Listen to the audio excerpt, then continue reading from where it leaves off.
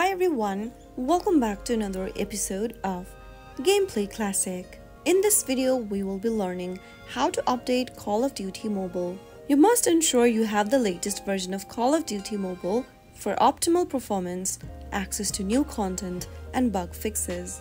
So here is how you can do it.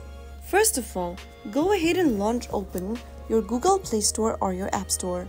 In the search box, type in Call of Duty and search.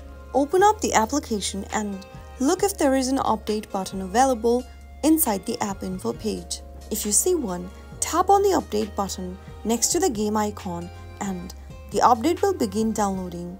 Once completed, the game will install automatically. Open up the Call of Duty mobile app after it is done and enjoy the latest feature and improvements. So that is how you can easily update Call of Duty mobile application.